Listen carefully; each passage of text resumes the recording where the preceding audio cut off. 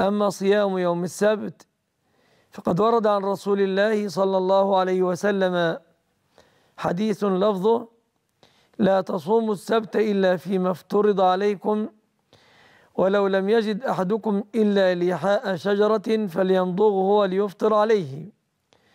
هذا الحديث إسناده يحسن أو يصحح لكن معارضاته أقوى منه بكثير جدا. ولذا فإن الإمام أحمد بن حنبل رحمه الله قال أصول الشريعة تخالفه وأستدل بحديث لا يصومن أحدكم الجمعة إلا ويوما قبله أو يوما بعده فهذا سيوافق السبت. وأيضا استدل بحديث من صام رمضان ثم أتبعه ستا من شوال فكان كمن صام الدهر. وأيضا في الباب حديث أحب الصيام إلى الله صيام داود كان يصوم يوما ويفطر يوما وهذا حتما سيوافق السبت.